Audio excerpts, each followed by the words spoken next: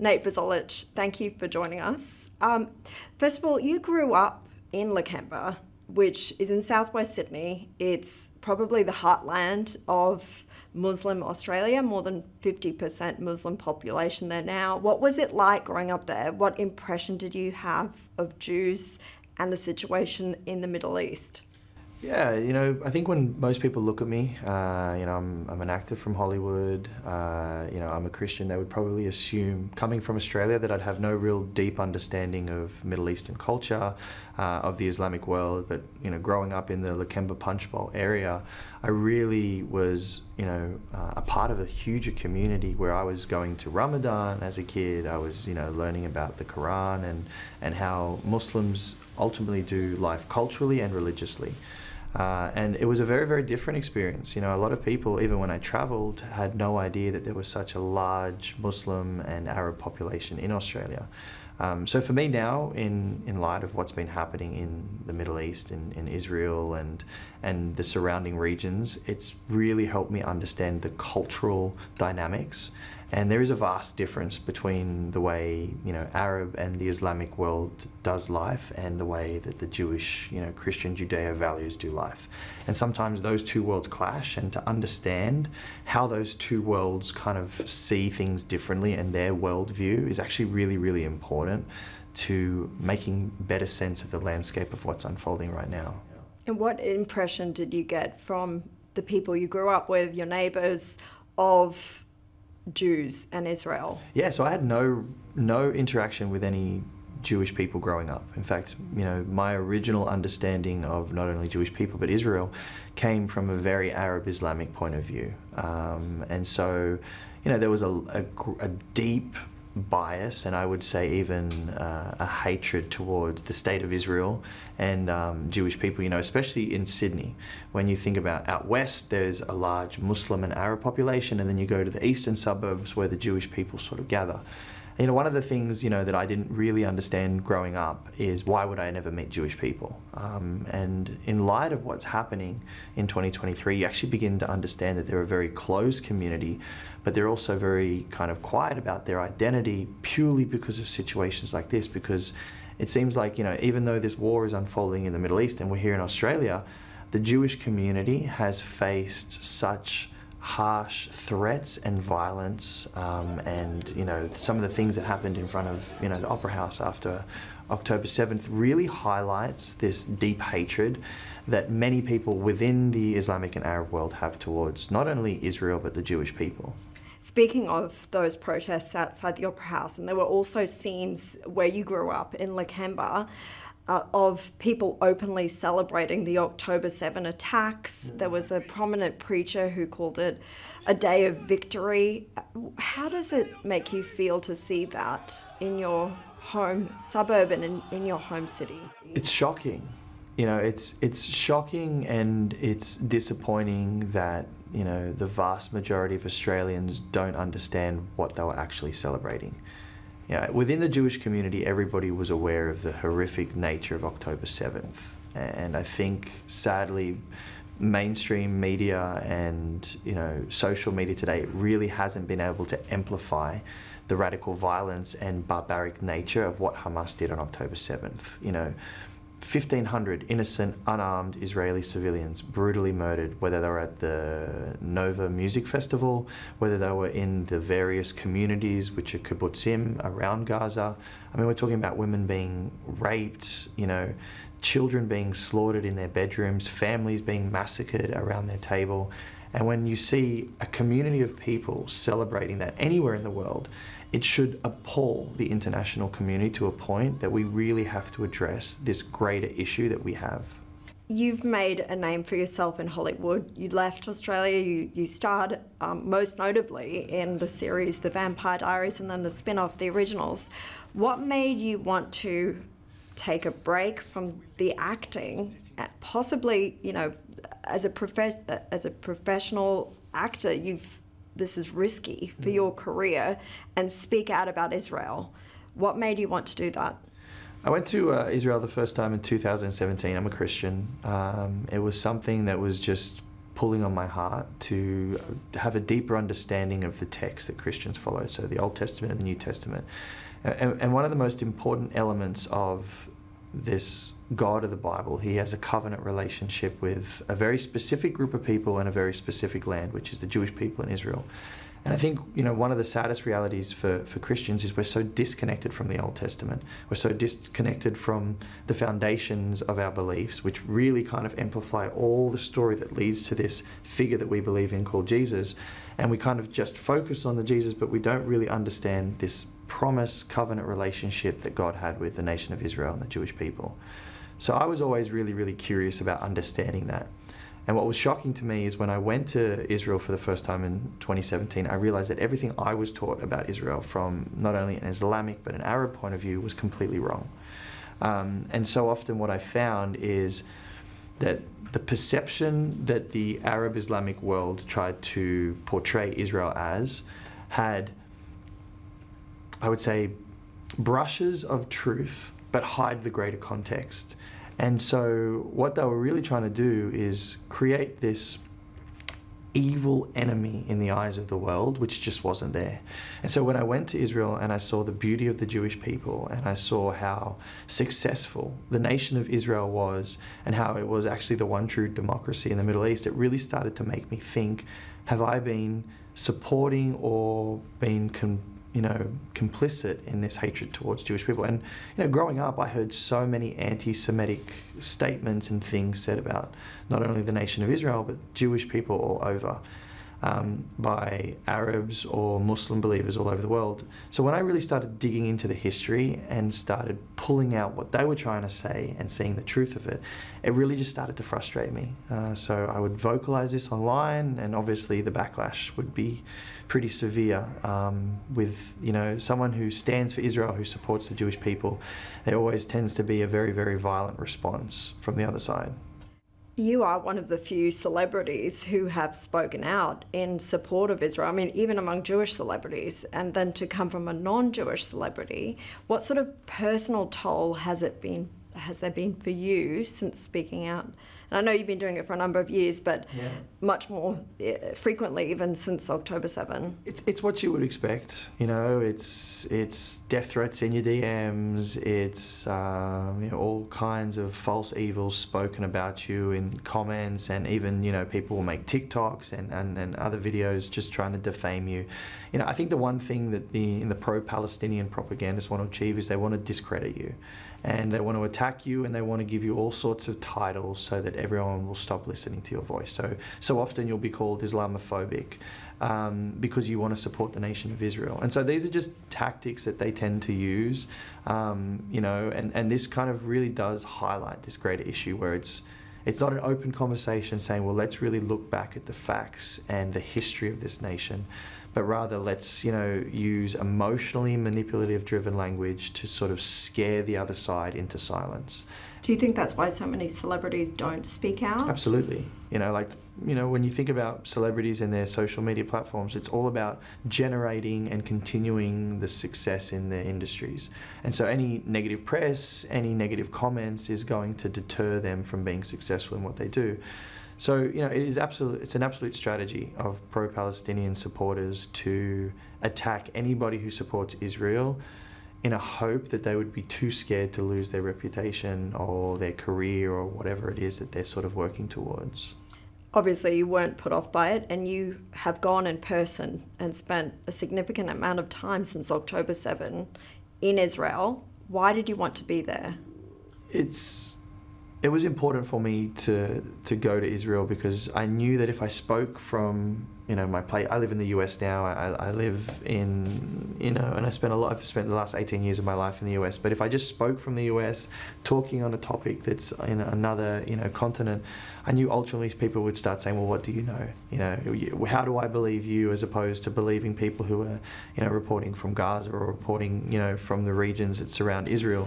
So for me, it was really essential that I was there on the ground and actually had real conversations with people who experienced October 7th and who continue to experience the horrors of what this Palestinian movement has really been over the last 75 years. You know, it, it it's an interesting journey that you take as an outsider from both the Arab and the Jewish world, when you actually just look at it from a critical point of view and you look at the history, you know, there's a lot of flags that the Palestinian propagandists on social media never want people to know online. Like a perfect example of that is the uh, the Hebron massacre of uh, 1929, where some 63 Jews were brutally murdered in a location called Hebron by the Arab populace then. And that's a really, really important moment in human history to understand that this had nothing to do with the establishment of the state of Israel. And this had everything to do with some deep rooted generational hatred of the Arab population towards any Jewish presence in the land. And so when you understand that and you have conversations with Arabs all over the world about that, they tend to defer or remove themselves from the conversation because they can't make sense that if they're only upset about Zionism or Israel, why was the same thing happening before the establishment of the state of Israel, where we see the exact same violent behavior behavior you know, in, at the Hebron massacre, people were raped, stabbed, murdered, you know, shot, and and so it was the same violence that we saw on October 7th, yet it happened long before the nation of Israel was established. And so this is a generational hatred that they never want the world to really hear about. And so those sort of moments in human history are really important for the Australian population to understand, well, hey, this is not about just Israel. This is about an Arab distaste for Jewish presence in the land, which is their ancestral homeland. While you've been in Israel, um, you've interviewed released hostages, mm-hmm. survivors, uh, the president, the former prime minister, um, families of hostages, soldiers. What have stood out for you as some of the most compelling people that you've spoken to and compelling stories? Yeah, uh, Avi Haim uh, had his children and his wife in Gaza. They were hostages. I, I did an interview with him, and and you, you couldn't imagine what it's like to sit with a man uh, in a kibbutz that's not his own. He had to go to another location because he's lost everything because of October 7th. And, and all he has is hope. And every single day he wakes up hoping that his family will somehow be released by a radical terrorist organization called Hamas you don't know what to say to them. You don't know how to approach the situation, but you, you see that all they have is hope, and all you can do is sit with them and, and pray that they will be able to be reunited with their family. Now, Avi Haim was one of the lucky ones. Uh, his family did come home, and that was a very, very emotional moment for me, having known him, having to had the opportunity to have an interview with him and then hearing about his family coming back uh, was it was an incredible experience for me. But the one thing that I found that stood out with every single person I spoke to, whether it was the victims' families, whether it was families of hostages, you know, whether it was soldiers, the one thing every single person said to me is all we want is peace. We don't want to destroy Gaza. We don't want to remove and destroy the Palestinian people. But all we want to do is live in peace and have happy lives. And that stood out to me in such a powerful way because when I looked at the other side and when I looked at what the pro Palestinian propagandists were saying and what many people were saying in Gaza is all they kept chanting, all they kept wanting or desiring was a complete destruction and removal of the Jewish presence in the land. And so for Australia, when we're unaware of what's really been going on for the last 75 years and we hear statements like from the river to the sea, Palestine will be free, we don't fully understand what they're chanting and what they're claiming. But from the river to the sea is a call for genocide of the Jewish presence in the land. And for some reason, we allow chants of genocide now to be spoken in the streets in Sydney, in Melbourne, and all over the world. So it, it's a bizarre point in human history that we're living in where we say, well, racism is wrong in 2023, but racism towards Jews is going to be okay. And war is wrong in 2023, but if it's a war against the nation of Israel, then maybe it's okay. And terrorism is wrong in 2023. But if terrorism happens in the state of Israel, well, then maybe there's a justification to it. And we saw that happening in the US when, you know, the Senate came together to ask questions of these, you know, heads of universities, and they asked, is the chanting of genocide an acceptable part of your school and code of conduct? And they said, well, it depends on the context. And so the context is this why is the Palestinian Arab populace of the world allowed to openly hate and try and murder Jews all over the world? How would you respond then to the critics who would go after you and anyone else who supports Israel and Zionism that you are supporting genocide. And obviously, we're seeing as we go to air now, as we film this interview, uh, South Africa take mm. Israel to the International Court of Justice with accusations of genocide. How do you respond to those critics? I would say just do a do a deep dive in the history of not only the Jewish people but the state of Israel before 1948 and even you know the last 75 years. You know, if you did a, a short Google search of the number of terrorist attacks that have been committed by Palestinians, Hamas, or Islamic Jihad just within Israel in the last 20 years, you'll be shocked. We're talking, you know, bombings of, um, you know, Passover dinners, buses, you know, shootings in the streets of Tel Aviv. I mean, I've been in Israel 26 times, and uh, every single time I've been there, there's been a terrorist attack. And the sad reality for the Israelis and the Jewish people is they've had to become used to it.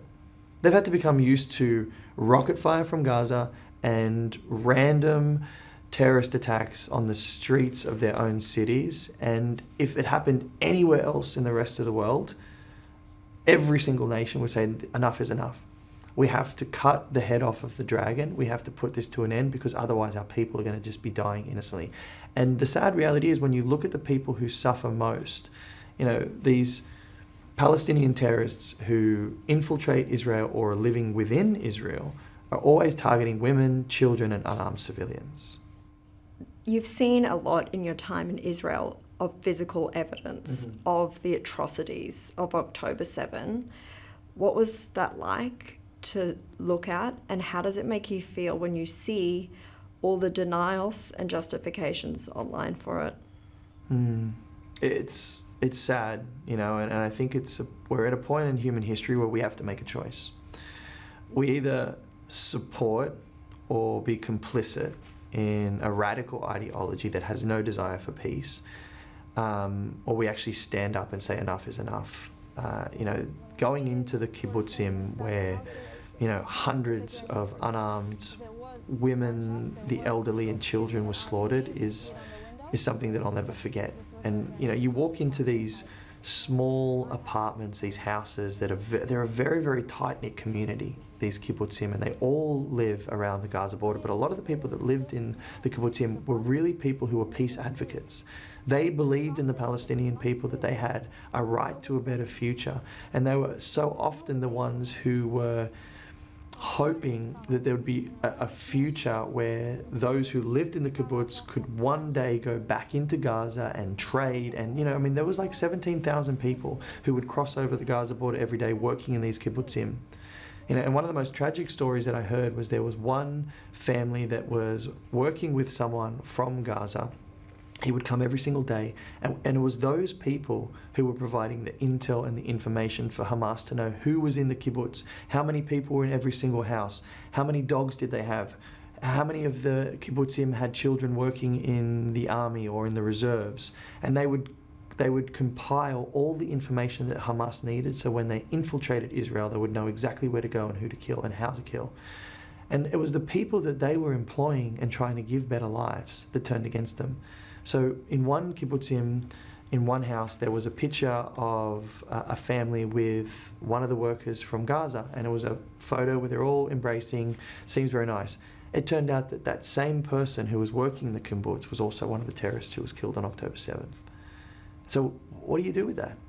What, what do you do, and how does a people ever find ways of peace when the very people they're trying to liberate from a radical, violent ideology, which Hamas is, educating their generation, their next gen, the next generation on, what do you do?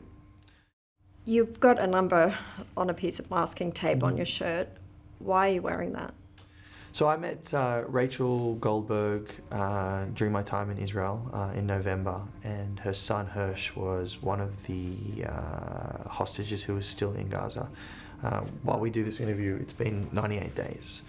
Um, and so Rachel is one of the most incredible and bravest mothers and women I've ever met. Every single day, she made a commitment that she was going to put masking tape and tape the number of days that her son was going to be a hostage. Now, sadly, we've got to 98. By the time this interview comes out, it's going to be over 100. And this is now going to be uh, my daily reminder that as long as the pro Palestinian groups are marching in the streets calling for a ceasefire, they're also not marching in the streets to call for a return of innocent hostages that had absolutely nothing to do with this war. You've, you've had a huge amount of support from the local co- Jewish community in Australia um, because of your stance. What has it been like to come here and see that in person? Yeah, I, I wish there was more Jewish people in Australia that the everyday Australian citizen should could have an opportunity to engage and meet with them. They're a kind, generous, hardworking, loving community, and you know they're successful. You know, you go to the eastern suburbs and you see where Jewish people live, and many of them have, have had successful businesses or created you know, incredible lives for themselves through hard work, determination, effort, and the ability to, you know, do what Jewish people do best, which is to live and prosper. Um, so I just wish there was more Jewish people uh, in Australia so that the everyday Australian could understand who they are. You know, their voices often get drowned out because they're always the minority. And I think that's the one thing Australia needs to realize. The Jewish people are the minority in this whole story. They're not the majority. They're not the, the aggressor. They're, they're not the oppressor. They're actually, you know, the victim um, of this tragic story where they have been targeted simply for returning to their ancestral homeland. And the irony of that is, we're living in a country where every single day we have to talk about and remind ourselves that the ancestral people of this land, Australia, are the Aboriginal people, and we acknowledge them, and we should acknowledge them.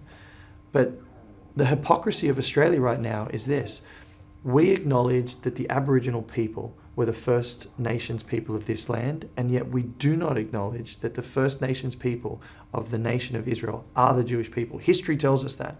And so now we have to ignore history and we have to ignore everything that every single historical book will tell us in favor of a pro Palestinian movement that was ultimately created in 1964. There is an irony that a lot of that pro Indigenous movement here mm. seems to be in support of Israel no longer being in existence or the pro Palestinian movement mm. itself.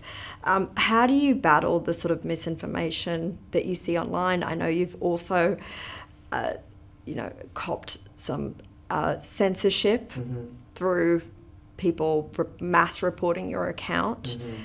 How do you see the online environment and and work with that. Yeah, this is, I think what people need to realize is this is much bigger than just an Israeli Palestinian conflict. The whole world is going to get dragged into what is happening in Israel.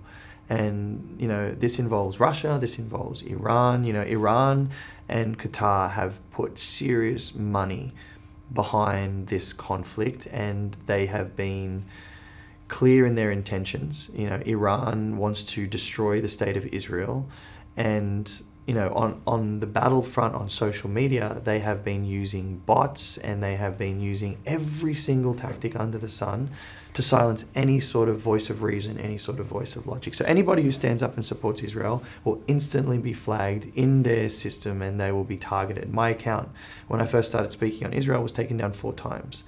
Now, Instagram told me that generally speaking, you have to get about 100,000 reports to have your account brought down, but I was getting millions. And that's all because Iran, Qatar, and this pro Palestinian movement is an organized, well funded movement to silence any voice that would counter their narrative. And what's next for Nate Buzolic? Um, you've got a production company now that you're working with, and you've got a movie. Yeah, so I'm, I'm shooting a movie at the end of uh, January, which is uh, you know movie set in the 1980s about you know uh, some detectives trying to find out how to catch out these two corrupt New York cops. Um, and you know, I've also started a production company called Rover Media, which really was launched uh, post October 7th to combat a lot of the misinformation and the lies that the pro-Palestinian movement continues to perpetuate on social media. And that's one of the advantages that they have. You know, when you look at Hamas, when you look at what they did on October 7th, you also have to understand if they're willing to rape, murder, and kill innocent unarmed civilians, they have no issue lying. And many people who are pushing this pro Palestinian movement have no issue stretching the truth, lying about the truth, hiding the truth. They will pretend, they will present um, content without context. And so, what I would say that Rover really wants to do is it wants to break the content lie and show the real context of everything about Israel that people need to know about. Because, you know, that's the advantage that, you know, many Palestinian propagandists have. Most Australians have no idea about the Middle East and they have very little understanding about Israel and they want you to stay in that world of ignorance because while you do, they can say whatever they want. They can say, well, you know, Israel killed, you know, 23,000 innocent people in Gaza, you know, since October 7th. But who tells us that there's 23,000 people? Well, it's the health ministry of uh, Gaza, which is run by Hamas. So they could put any figure they want in, and we have to believe it. And also the proportion of how many are innocent civilians and well, how many are terrorists. The, the IDF say it's almost you know 10,000 terrorists that have been killed. So you know when you look at that, you don't hear anybody from Gaza. You don't hear anybody from pro-Palestinians who say, "Well, you know, 10,000 of those people who were killed were radical terrorists who were holding RPGs, um, Kalashnikovs, or they were trying to kill uh, IDF soldiers as they work their way through terror tunnels. You know, the other thing that, that I discovered on my time in Israel when I was talking to, you know, people in the IDF, people who have been in Gaza, is, you know, Gaza itself is about 68 kilometers in length. And underneath Gaza, they have 500 kilometers of terror tunnels. So that's where all the money went every single dollar that was funding, you know, aid programs for this Palestinian population in Gaza, it didn't go to them. It went to Hamas, and Hamas built terror tunnels. And will that change if Hamas stays in power? Absolutely not. So the elephant in the room that pro-Palestinian propagandists don't want you to be aware of is Hamas. You get rid of Hamas and then there's an opportunity for peace. As long as they remain, it's going to be the same cycle of hate from generation to generation. Nate Buzolic, thank you for being so generous with your time. Thank you.